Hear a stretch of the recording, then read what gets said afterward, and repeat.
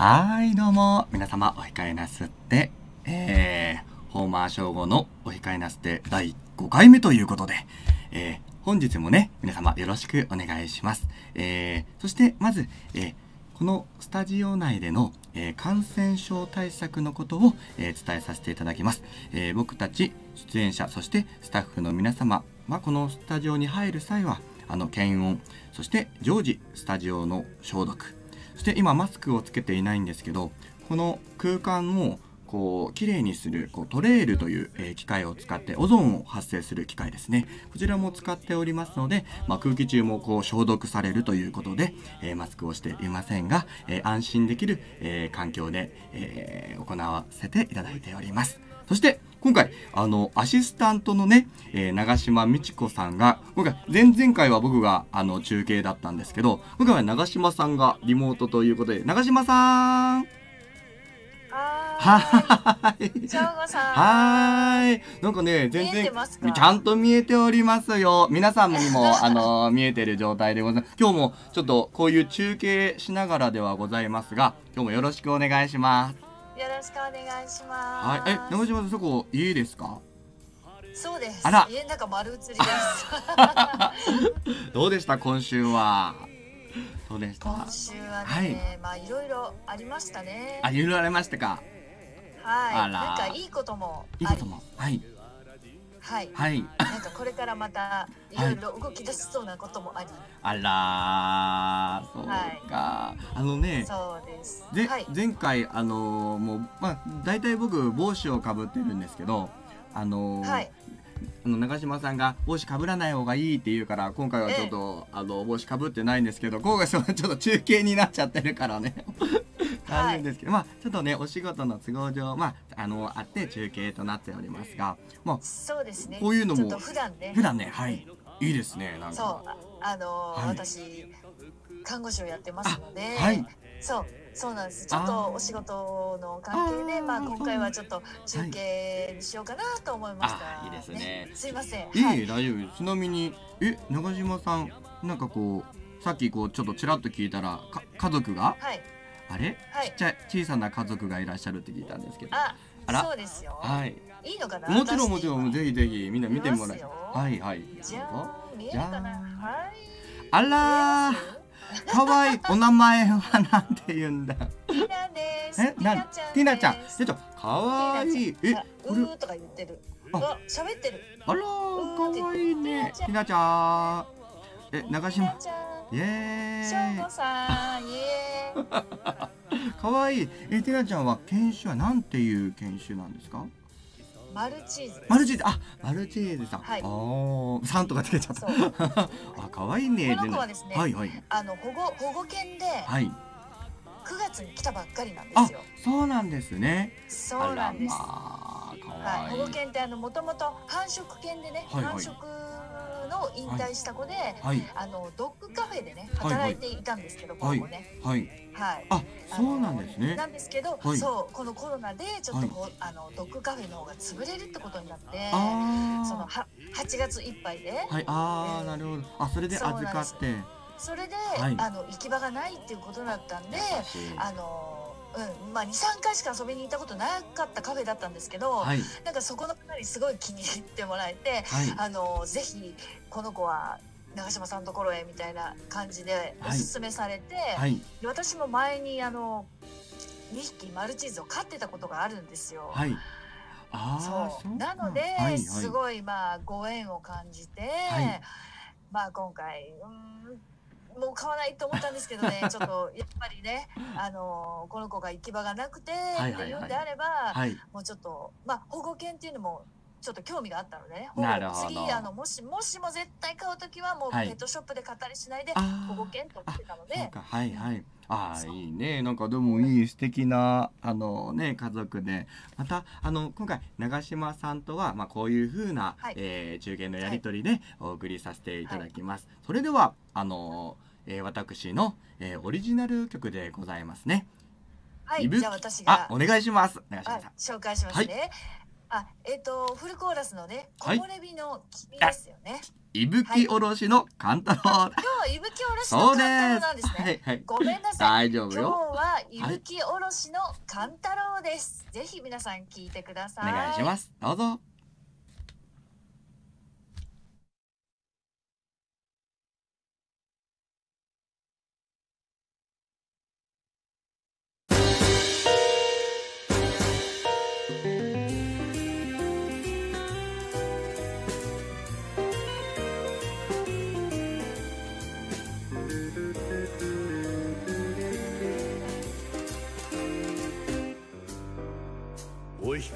なすって。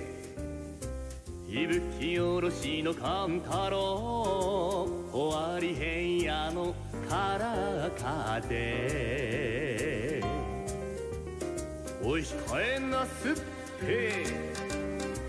いぶきおろしの勘太郎肘届きょんは次郎長には負けぬ。そんな強がり言っちゃって風が聞こえる母恋歌に早く会いたい。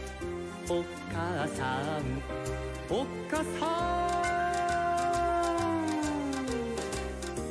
春を待たずにあの山越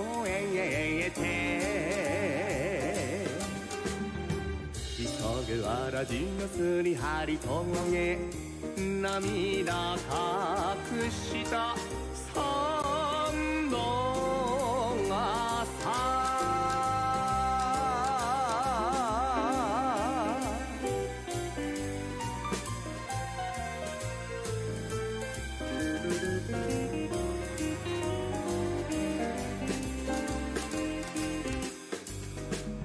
お控えなすっていぶきおろしの勘太郎。風がビュンと吹く男だって。お控えなすって。いぶきおろしの勘太郎。山は湖畔の夕日に染めて。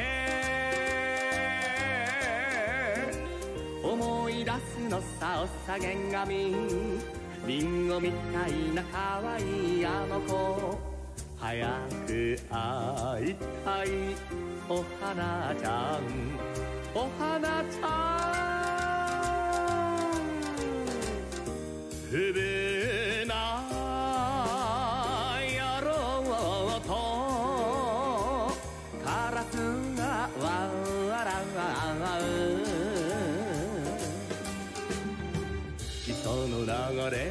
昔のままにやっと終わりの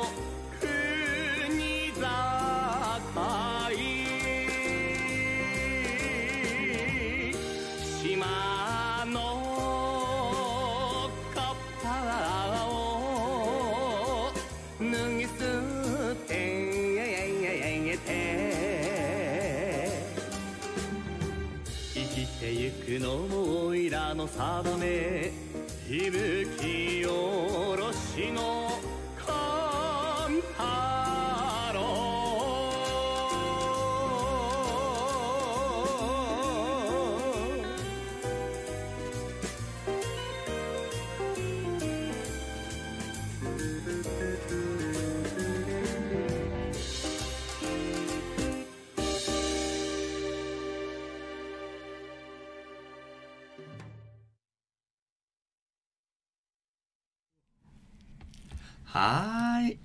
ざいました。そして、えー今日の素敵な、えーゲストの方たち来ておりますね。えー先輩歌手のさゆみんごのお二人です。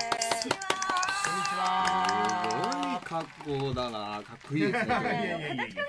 感じから。そうなんですよね。はい。すごい。すごいですよね。すごい。はじめまして、さゆみんごと申しまちょっと衣装見す。せてください。衣装ねてください。。まあまあこんな感じですよね。こんな感じ？どんな感じ？こんな感じ。ね。見えます？素敵素敵ですよね素敵え何？イメージはこう何をイメージイメしたージはえっとですね、あの一応ね。あの戦国時代の歌を歌ってるんです。あはの舞台にして歌ってますので、い。ちょっとそのイメージから入ろうと思ってこの刀刺したり、あのはい。切りませんけどね。すごいなんか忍者、ね。忍者みたいな。そうですね。はい。あの忍者の歌も歌ってます。そう あそうなんですね、なんです。そういうようなはい昔の歌をはい。とはい歌ってます。はい。はい。じゃあまずちょっとね、軽くもしよければ自己紹介などはい。してもらっても。ははい。い、お願いします。皆さんこんにちは。は。はじめまして。の方が多いかな？さゆみん。ゴーと申します。はい。はい。あのねさゆみん GO っていうねユニット名ですね。はい。で私がさゆみんと申します。はい。そしてゴーですね。はい。でですねあのこういうはい。魂のつながりをテーマにした曲を3曲歌ってます。はい。メイン曲は赤い月よ戦国恋物語。そして、えー、郷さんのソロ曲月見夜桜。そして私のソロ曲輪廻。その3曲とも魂のつながりをテーマにしてまして、えー魂のつながりとか縁のつながりを大事にして歌っていきたいなそうですね。ユニットで私が作詞させていただいてます、はい。私はね。ね一生懸命歌ってますんで。伝えたいことがやっとやっとできるようになりました、はい。すごい。早速ね、はい。まずはあのね。速はい。さんのこうはい。ちょっとうん PV と言いますうん。か、はいはい。そちらをちょっと見ていただきましょ聞いて。ください。よろしくおはい、願いします。はい、ぜひどうぞそれではご覧ください。曲振りをお願いします。はい。サイミンゴーで赤い月よ戦国恋物語聞いてください。ぞ。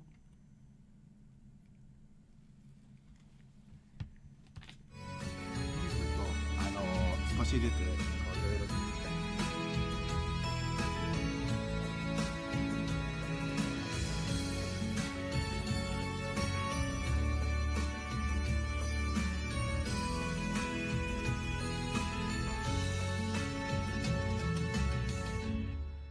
切な抱きしめ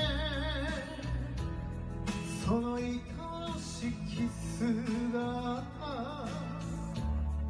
この胸に焼き付け一人旅立つ。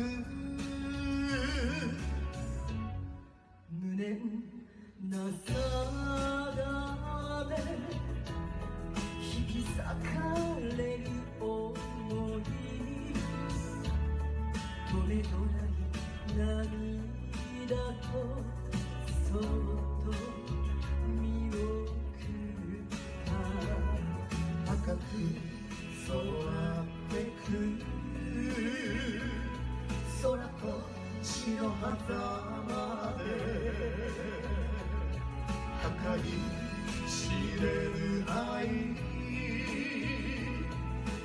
나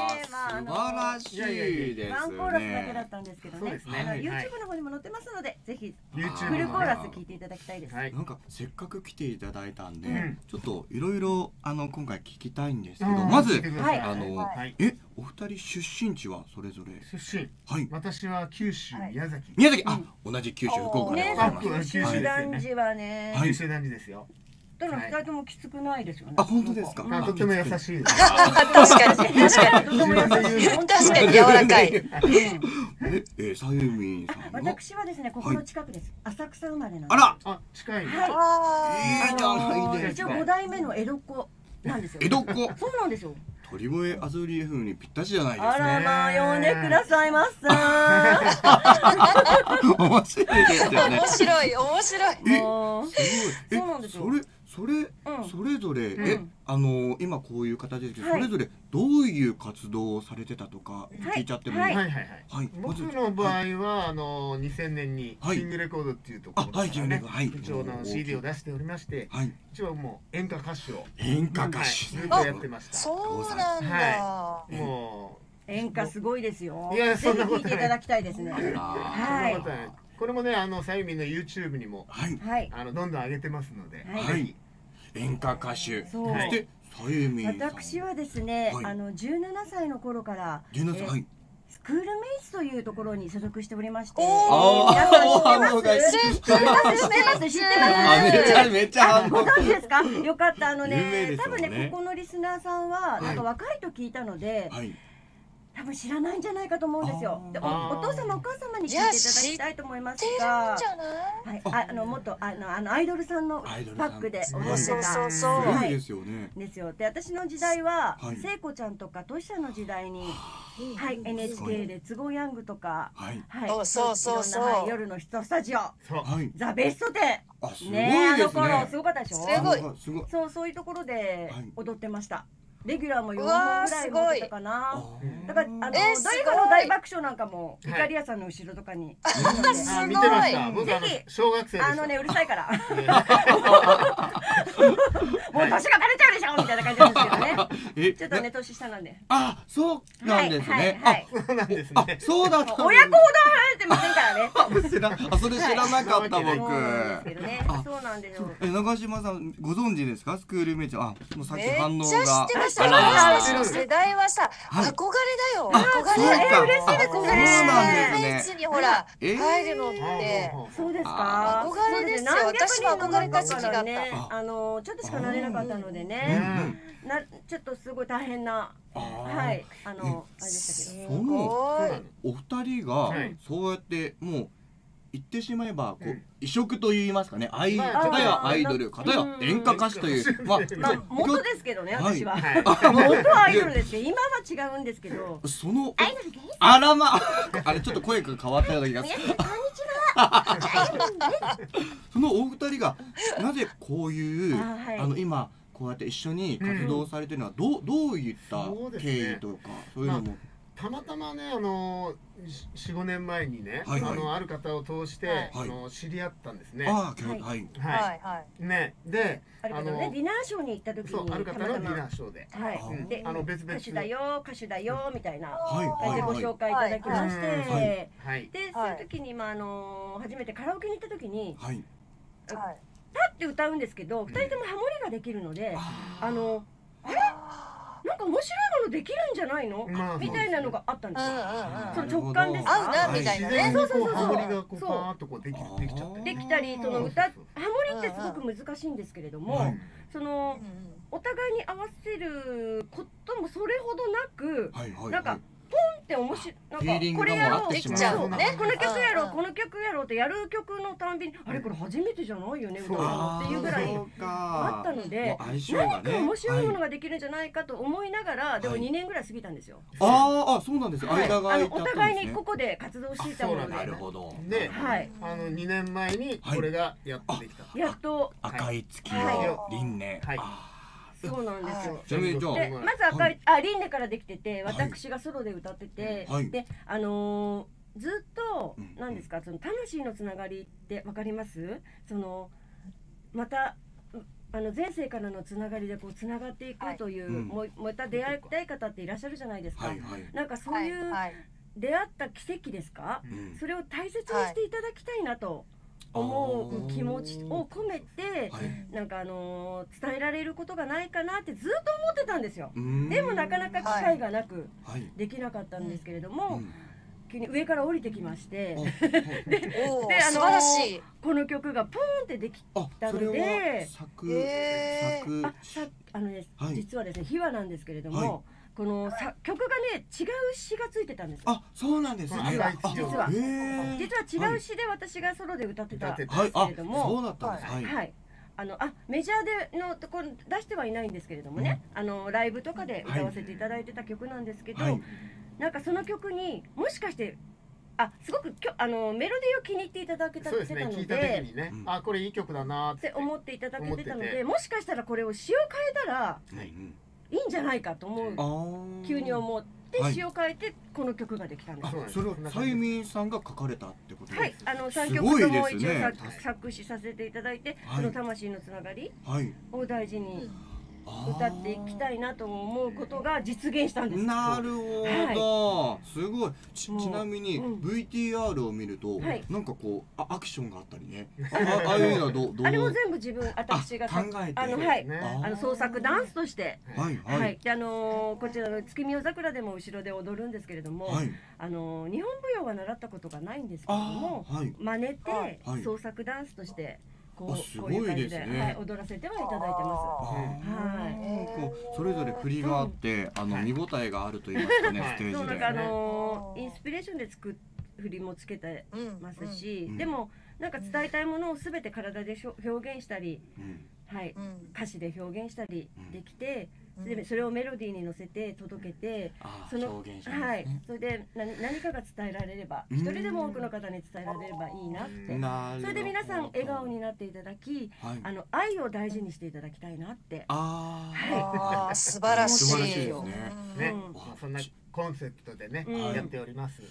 ちなみに長島さん、こう、はい。ちょっとスピリチュアルにこう通じるものってあるんじゃないですか？いやめちゃめちゃねわかる。すべてわかる。あ、わかる。すごい。だってはい。うんなんかもう降りあ降りてきてお踊りとかもねもう魂のから出るそうです。はいそうです。なんていうの踊り？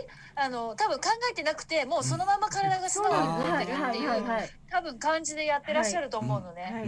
そうでしかも私運命感じたのはリンネって言ったでしょ、はい。私の占い師のもう実は、えっと名前はリンネって言うんです。よ縁があるな。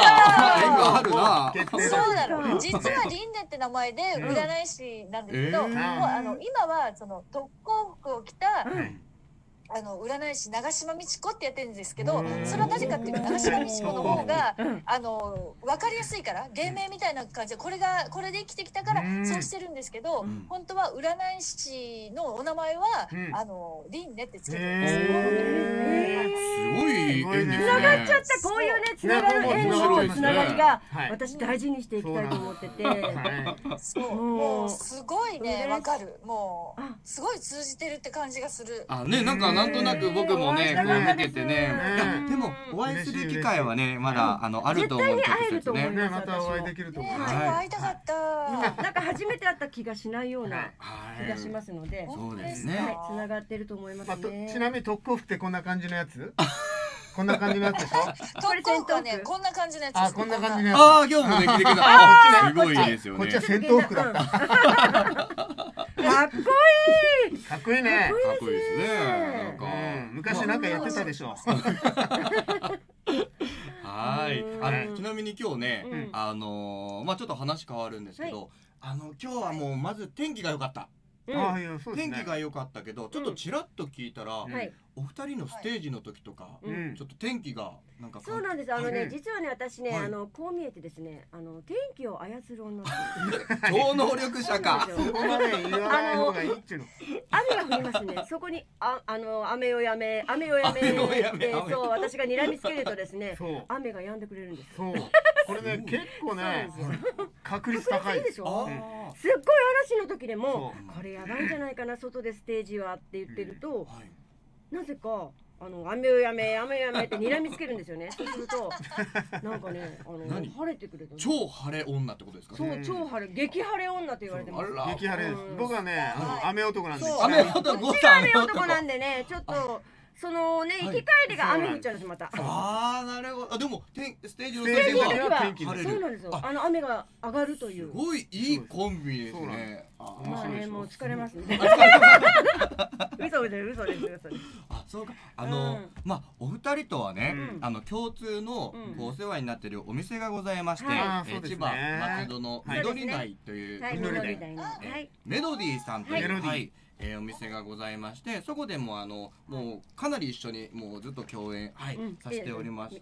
そうですね。宣伝しちゃうのまあたそれでもう あのちなみに、うん。あの25日は、はいえーそこでクリスマスパーティーがはい。あるんですけど、うん。あります。あります。そうなんですよ。はいそうですね。あののね。密をねちょっとね気をつけながら。うん。はい。はい。あのみんなで。もうちょっとしたらね、うん。あのーこう載せていただくんですけど、はそこでも、え今回はお客様に一緒にこう楽しんでもらおうという、ははい。い、なんかねメドリー仲間でもあるんです。よそうですね。歌仲間でね歌仲間でねいつも歌わせていただいてます。はい。ね。なんかメロディーさんでもなんかこう、あその他にもなんか宣伝があればもえっ、と今はあ、はい。1月にですね、はいはいはい。その近くの亀戸梅屋敷というところで、はい、うはい。はい。あの忍者の人たちと一緒あらでねあ格好がいい。はい。はい。文化祭りというのを。そうです。はい多分ねあの11月にやったんですけどね、うん12月がちょっと中止になってしまいまして、はい。1月の今度1月の17日に予定はしておりますが、はい予定してます。ちょっとこれは何とも言えないんですけれどももしできれば1月17日にどこでしたっけ？えーと亀戸。亀戸だから梅屋敷。近いですね、あの通ってきましたね、私あそうですよね。はいであのやらせていただいてます、はい。忍者とか和のアーティストがたくさん出ますので。いいですね。はい。ちなみにそういうのは、うん。あのなんかこう SNS とかもやられてますか、やってますやってねます。はい。フェイスブックフェイスブ Facebook ックインスタインスタグラム。はい。あツイッター Twitter あのブログなどもブログあいいですね。あブログでそのやってます。情報を知りたい場合はそこで検索うんしてもらえば、するかあの目玉くんに聞いてください。あ僕に？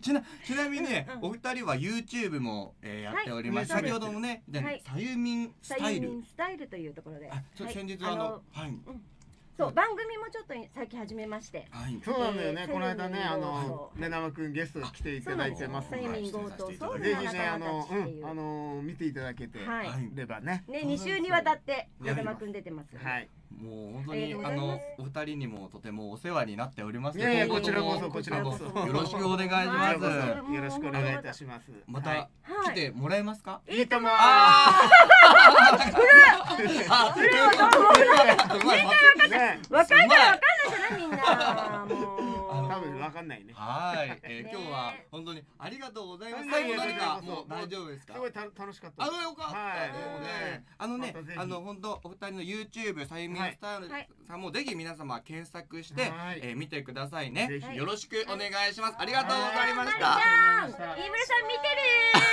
ありがとね はい、ありがとうございます。これね、生放送だから、うん切れないんですよ。このまま、このまま、あそうなんですよ。このままこそ。はいあ見てくれるって人のまま言っちゃあ、いや大丈夫、全然うん OK です。よありがとう。ここも映ってますよね。もう生放送、こういう裏の方も 映っておりますが、ありがとうございました。はいまたよろしくお願いします。はいありがとうございますありがとうございます。そうです、大丈夫です。はいありがとうございます。すいありがとうございました。いつかぜひどうもありがとうみるちゃんのお話もぜひぜひ、はいね私も今度ね YouTube 見ます。ぜひあーい。よろしくお願いしありがとうございまましたすね失礼します二人ともありがとうございました。また来てくださいねありがとうご。ざいました竜の神オッケー、竜の神で。わかりました。竜神様のいや、あー、オッケー。いやありがとう。ありがとうございます。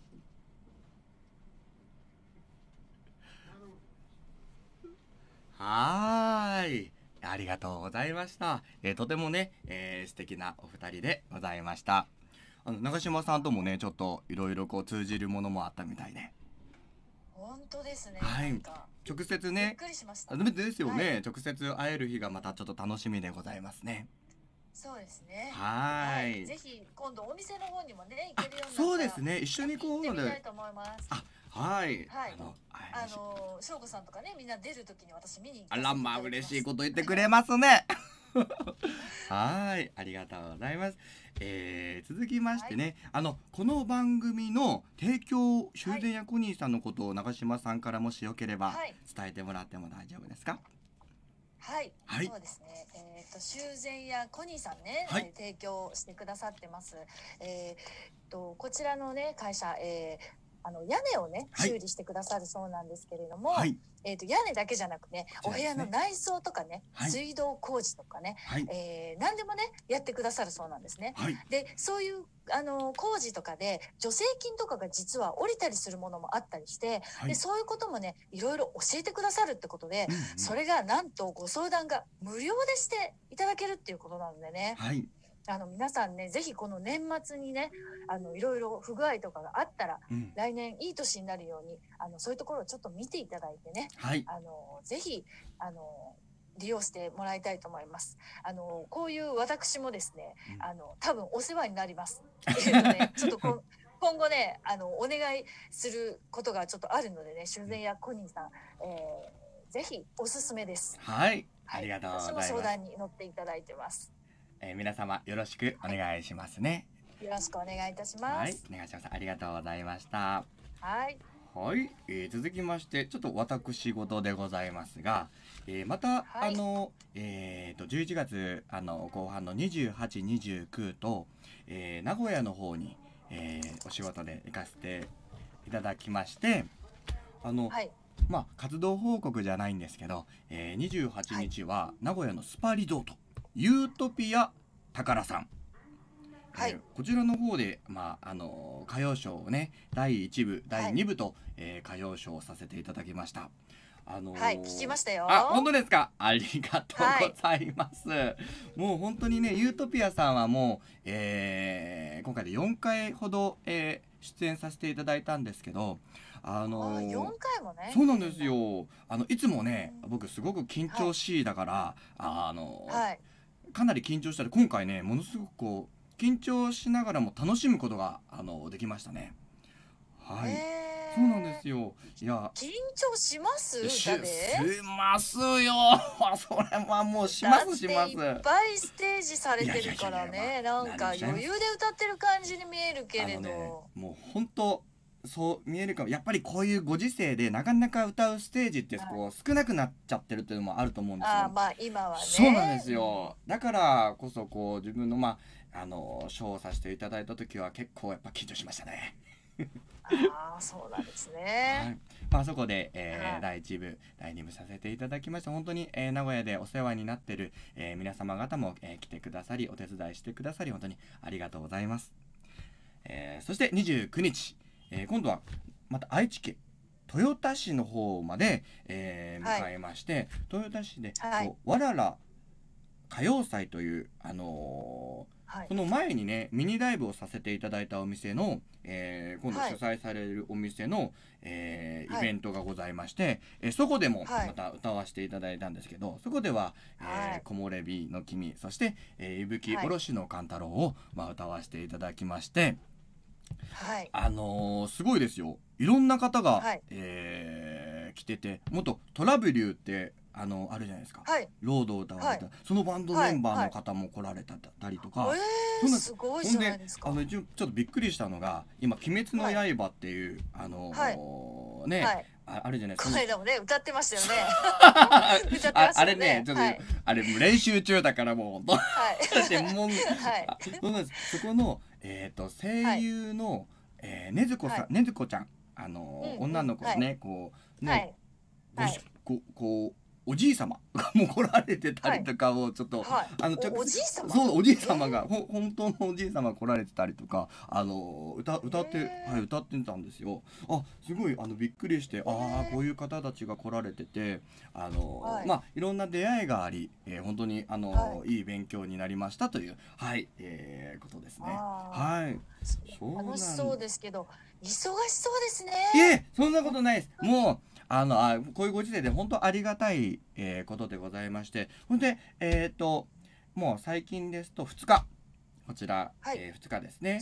えーはい。12月2日は川崎 FM こちら川崎あはい。FM の、はい方に、えーまあ、出演させていただきましてこちらが、D はい。あのそこでこうパーソナリティはノブさんという、えー方なんですけど、はい。えー男性のノブさんでアシスタントは長谷川由美子、えーさんいやもう先生ですね。あの長谷川由美子先生という方が、えーこう一緒にこうやらせていただいたんですけど、はい。あのなんとね長谷川先生はねあの僕、はい。実の親の名前が由美子って言うんですけどあそうなそうなんんですね長谷川先生僕の名付け親なんですよ実は。本間翔吾の。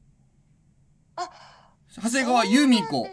そうなんですよ。親が由美実業の親が由美子で名付け親の名前も由美子漢字も一緒でございます。はい。もう由美子さんという方に育てられるためにそうなんですよ。親がいっぱいでございまですすね。ね。はい。まあそういうご縁もありまして、まあ、あの、はい。いろいろ今週も、まあ、あの、いろいろこう出させていただいたことを本当にもうありがたいなと思って、えー活動させていただきました。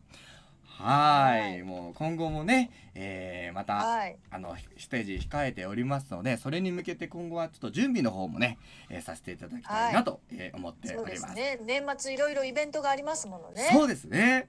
はい。ね。あのそしてこの番組を通してあのーはい。まああのー僕の YouTube とかにも歌声ねこう歌動画載せてるので、はい。まあそれで僕の歌声が、まあ気に入っていただいた方とかにはまあ僕はい。にこう、なんていうんですかね、本間省吾にまあ企画の一つとして、これあれですね、言いましょうか？お願いします。本間翔吾に歌ってもらおう作詞作曲募集。ですね。はい、もう、はい。ぜひぜひぜひ昭和あの本間翔吾さんに歌ってもらいたいっていうねあのはい、作って歌歌詞でもいいですし、はい。曲でもいいから、はい、ぜひね作っていただいてはい、翔吾さんに歌ってもらいたいっていう方募集しております。はい。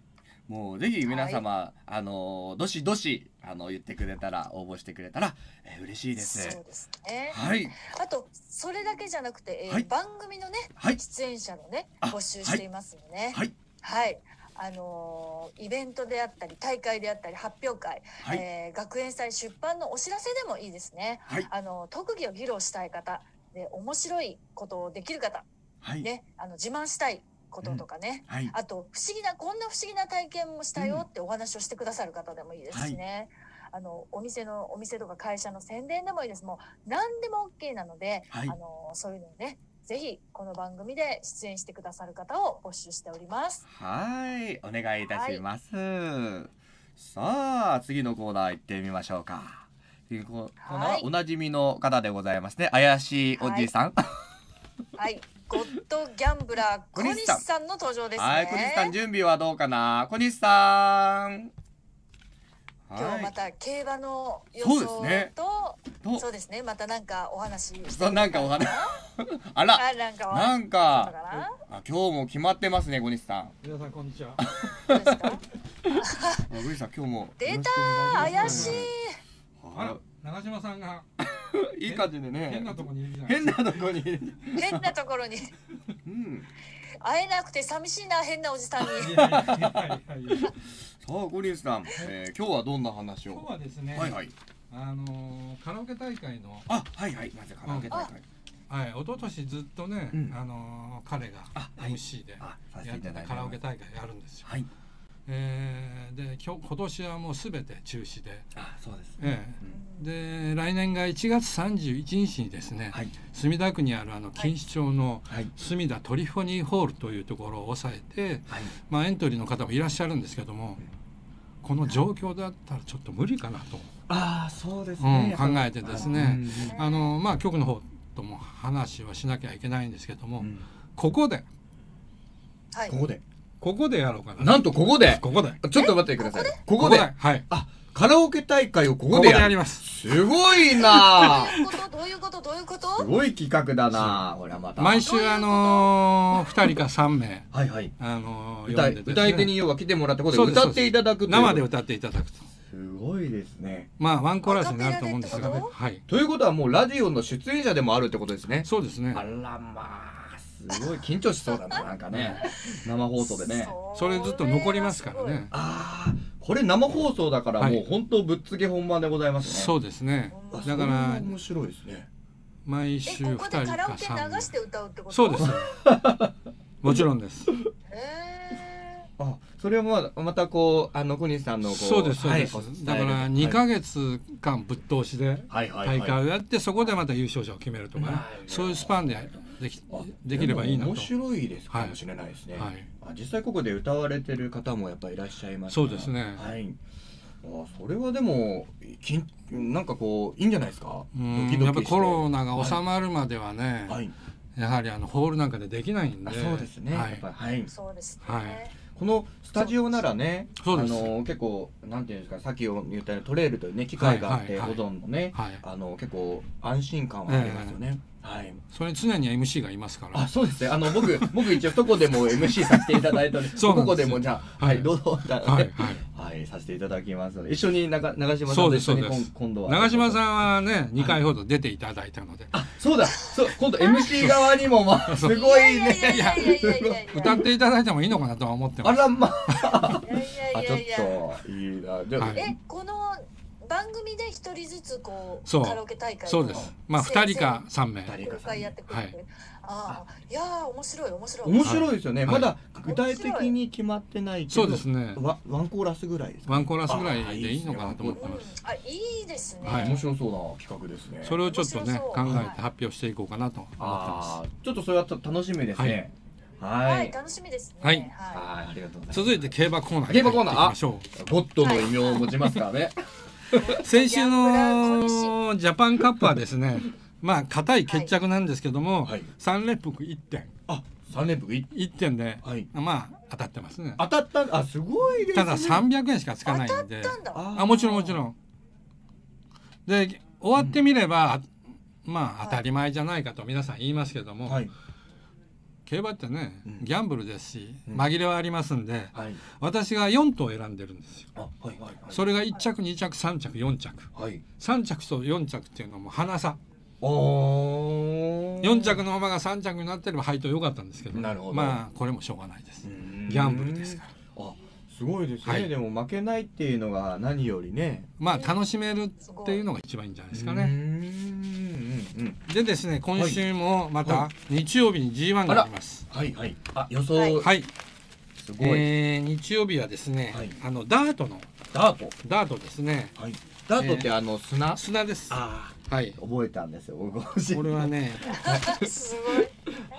昔はこれ始まった頃にはですね、はい。ジャパジャパンカップダートって言われてたんですよ。はい。それが今名前が変わっちゃってですねチャンピオンズカップかな。なんかなってます。はい、これもねダートっていうのは強い馬は本当に強いのでうん。あまり紛れがないとは思うんですけども、はい。えー私はこういう予想できました。ありゃ。ちょっと持ちましょうかね。はい。はい、見えますかな皆さん。はい。こういう感じはいですね、5番7番8番11番15番。この5頭でボックスで10点外10点がはい。穴は1番。はいはいはいはい。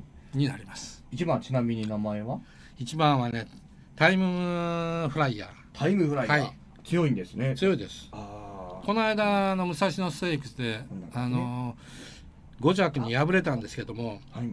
この馬あのその時の一番人気の馬なんです。こういう馬って得てしてくるんですよ。ああ、そうかこれが今週の予想なんですね、はいはえー中京十穴が1って書いてある。そうですね。ね。それが今のタイムフライヤーですね、うーんうんうんこれが、はい。えー今度の予想。えーやっぱりでも一番強いのは15番でしょうね、15番、うん。川崎芝の。前が。えーこれはですねクリソベリなんでなんて言いましたはい読んでくださいクリソベリル。クリソベリすごい名前だこの馬は本当に強いです。あー、はい。強いですね、はい。ここから流すのも手です。おお、はい今回はちょっとこねそうですね。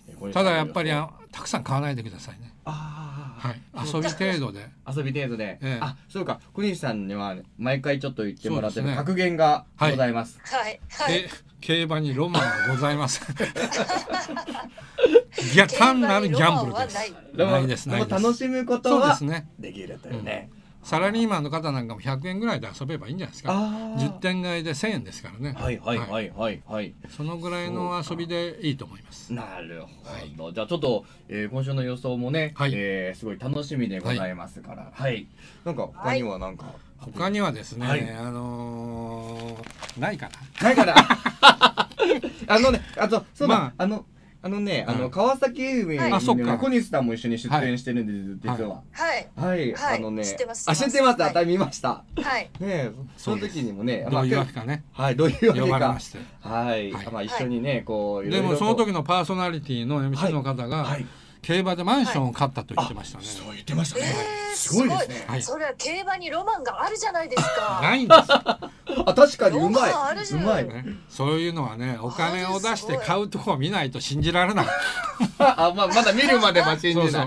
うお金って手に乗るまで分かんないですからね。はい、はい。あーじゃあお兄さん、はい。また次週もよろしくお願いします。よろしくお願いします。ありがとうございました、はい。また来週もお願いします。はい。長嶋さんさようなら。決まってますよ、はい。今日も。じゃあまた来週よろしくお願いします。はい、また来週。長嶋さんちょっと、はい。あの恒例のスピリチュアルアワーを言ってもらっても大丈夫でしょうか？はい。今日はですね、はいはい。何何にしようかなと思ったんですけど、はいはい。えっ、と翔吾さんよく神社って行かれます？あ僕は神社の方にはねあのーはい。あのなかなか行かない行かないですね。あんまり行かあんない。まり行かない。あんまりあんまり好きではない？いやそういうわけではない。そういうわけではないですね。ないですか？はい私はですね、いはい。つもその開運するのに神社をおすすめしてるんですね。はいはいはい。はい。はい、神社を使っていろいろ開運をしているんですけれど、ははい。い、あのーまずね、今日はあのこのラジオのぴったりな、はい。まずそこから行こうと思ってその墨田区の方が聞いてると思うのでね、はいはいはい。墨田区にある浅草寺ですね。浅草寺。について、はい。はい、で浅草寺に、えーとは今年はですね、今年って2月3日までですけど、はい。えーとね、特に、えー浅草寺の、えー観音様が、はい。えーいいんです。おいいんですすごくいいんです。はい。そうなんです。あらなので浅草寺にぜひお参り行かれてくださいっていうことで、えっと、浅草寺さんっていうのはね一番何に効くかっていうと、はい。先祖供養なんです。先祖供養に効くんですね。はいはいはいはい、でまず開運するにはやっぱりあの先ほどの方も言ってたけど愛って言ったでしょ？愛もそうですけど先祖供養なんですね。はいはいはいはい。なので、うん先祖供養をしっかりされてくださいっていうところですねそれでそれにいいのは浅草寺なんです。あそうなんですね。そうなんです。で浅草寺に行った時にえっとお賽銭って相性がいいのはえー浅草寺さんって3ってねいうことがご縁があって観音様3って。なので、えー3っていう数字をいあの例えばあの3000円でもいいし、はいはいはい。ささえー、と30円でもいいし、はい。あの3っていう字をねはい。あ三。の必ず。三ですね3はい。三です。三。三。お賽銭は三。三絡みおーなるほど。103円とかでもいいし、はい。うん、1003円でもいいし。ああなるほどね。3000円とかでもいいかな、あうん、そう。まあ、ごいです3万ね円とかでもいいですけど、はいはい。それで、えーとはい。観音様相性がいいのでね3という数字で入れていただいてはい。であの専属用をしっかり、えーやってください。私はですね、はい。もうね何十年ぐらいだろうな。15年とか20年ぐらい通ってるかな。あそうなんです。結構もうずっと。そうなんです。節目節目に浅草寺さんに行かせていただいてはい。春のお彼岸、えー夏のお盆。うんで、えー8月の8月もあ東京は7月がお盆ですけど、はい。8月のお盆。それと秋のお彼岸も、えー、と行ってます。それ全部自分のあ長島のね専属用をさせていただいてます。なるほど。はまずそこが、はい。あのやっていただくとね観音様で本当に願いを叶えてくれます。私はそれであの願いを叶えていただきました。実践してますのすごいですね。やっぱ実際ねそうなんです。なのでぜひはい。おすすめをしています、はい、で、はい。特にねもっとあの個人的にね、はい。あのいろいろ開運の方法を知りたいっていう方はですね、はい。ぜひ長島美智子のインスタグラムを、えーフォローしていただいて、そこからダイレクトメッセージをください。あの直接会って鑑定して、えー皆様の、えー開運をしたいと思あいます。あのねあの番組のはい。一番最初にね、あの僕も長嶋さんにこう,、こう見てもらったじゃないですか。いろいろ僕のこう、特徴とかなんかこうねあの性格とか、い、やすごいね、あのー細かくねやっぱりこうノートずっとこう書いてくださっていやあれはもうびっくりしました、僕も。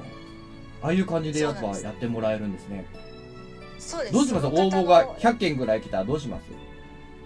そしたらね対応しきれなくなっちゃうかもしれないですけど。あの、でもねその方のその年齢でどういう節目この何歳でこんな節目がありますよっていうものを出しますし、はい。あとお名前からもあの出しますしその年の、ね。あの吉報とかねあ開運とかはいそういうのも出しますしね。ありがとうございます。ほんで、来週のね、えーゲストは、はい。いいですか？はい。はい。来週のゲストが、こサッカーのコメンテーター、小谷大輔さんに、えー来ていただきますので、皆様、よろしく、はい。来週もよろしくお願いします。